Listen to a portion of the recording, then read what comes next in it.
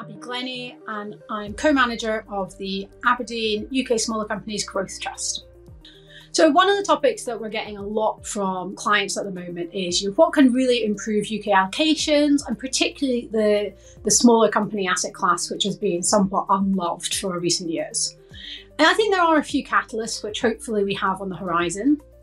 Uh, I think one of the more recent ones has been the potential for government action. So ever since we saw the Mansion House spe uh, speech, there's been more of a positive belief that something's going to come through and certainly from what we hear on the ground as well, the Treasury have been very active in terms of gathering opinions and hopefully also gathering opinions from uh, the people that we really think should be driving this forward. So we do believe there's hope that something happens. I think outside of that, there's other dynamics that are really quite positive. I think a lot of the UK data has actually been quite reassuring. And particularly in an environment where there are challenges out there, and we're seeing that across other geographies.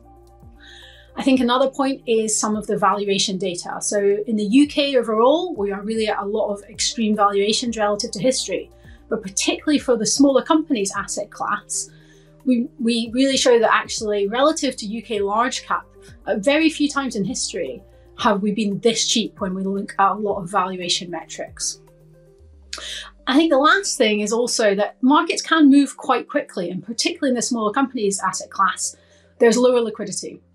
And when we do see a turn in markets, we do see that those momentum dynamics can really start to improve and can drive markets quite quickly.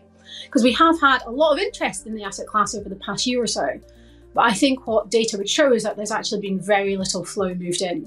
So there is hope that there is money on the sidelines waiting to make that move into UK smaller companies. In the UK, there remains a number of key dynamics moving the market, but one of the most important continues to be the macro environment, which can be quite frustrating for a lot of more stock specific portfolio managers. I think the thing that we are seeing in that macro, though, is that it is on an improving trend in many ways. So, one of the key catalysts we were looking for in the UK was inflation to start to come down and be in a more sort of controllable level and more in line with other geographies. And I think we are on that pathway. And we've really seen that for a few months now.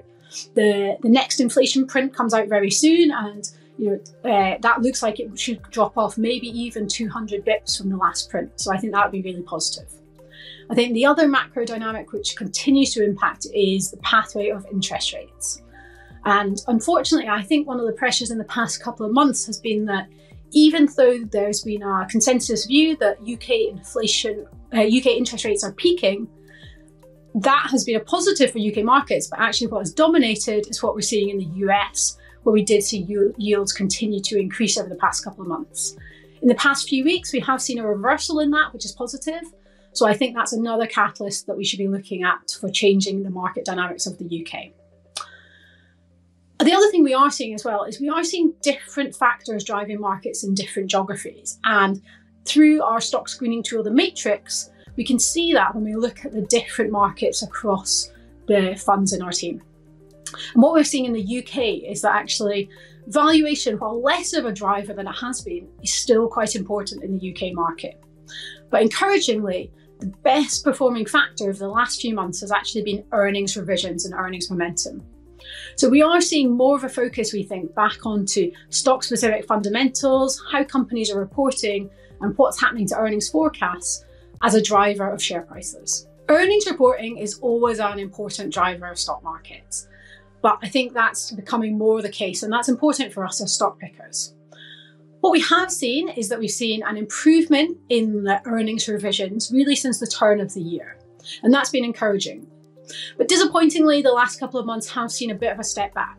September was a bit lackluster, and actually, October was a really tough reporting season, uh, not just across the UK, but actually in other geographies. And I think in the UK, the dynamic of earnings downgrades versus upgrades was actually the weakest data point that we'd seen since October 2022. Now, I think there have been certain sectors which have often dominated in that in the past month. I think industrials is has been the, the biggest challenge in terms of earnings downgrades. So we have seen some big moves in some of those, not just earnings forecasts, but share prices across the market. Encouragingly, though, when you read the data, I think a lot of it is more destocking driven than it is demand driven. And hopefully that should be a shorter term horizon problem. I think actually uh, a lot of the consumer data in the UK has been quite encouraging, and we've some, seen some really strong reporting across consumer exposed companies. So that continues to be a positive surprise to many people, but encouraging.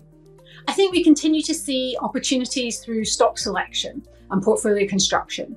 So we continue to believe that earnings momentum will be a good driver of share prices over the long term, and we can help position the portfolio to benefit from that. I think the other thing that we are seeing as well is stock specific opportunities, even within sectors.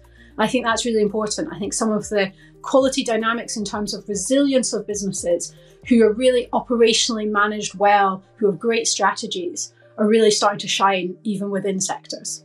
The Aberdeen UK Smaller Companies Growth Trust follows our quality growth momentum process and has done for its longevity. That process has been tested through over 25 years and five economic cycles. So, what environments does that perform well in, and which does it find more challenging? I think one of the encouraging things that we've seen over the history of the process is that we've actually driven relative outperformance through all different market environments. So, when we categorize those into strong markets above 10% per annum, moderate markets 0 to 10%, and falling markets we've delivered outperformance in all of those environments. And I think that also highlights the benefit of quality through a cycle.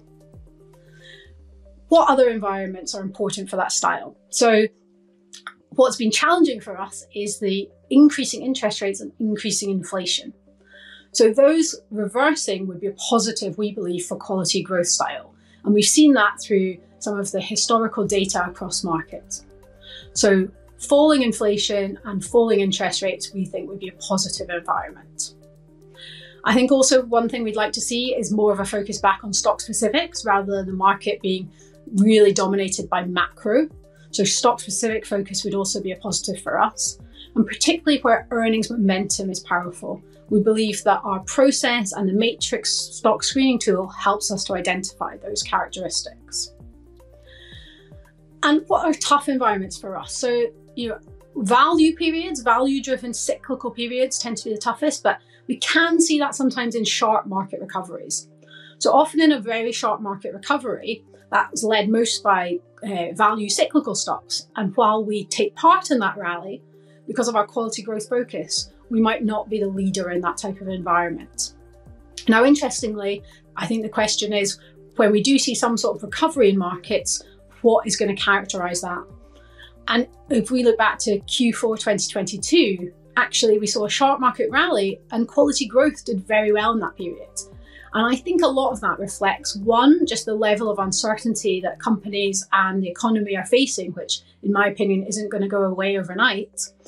And also the level of valuations that we've got for businesses. So if we look at the quality growth space, we see that those valuations are very low relative to history and you really aren't paying much of a premium over the market, over the benchmark to have that type of exposure. So that's why we're optimistic that even if we do see markets start to recover, which hopefully we do, actually quality growth can have a really good place to play in that space. If this video has piqued some interest and you'd like to know more about the Aberdeen UK Smaller Companies Growth Trust, then please do look at our website or click in the link below. Thank you.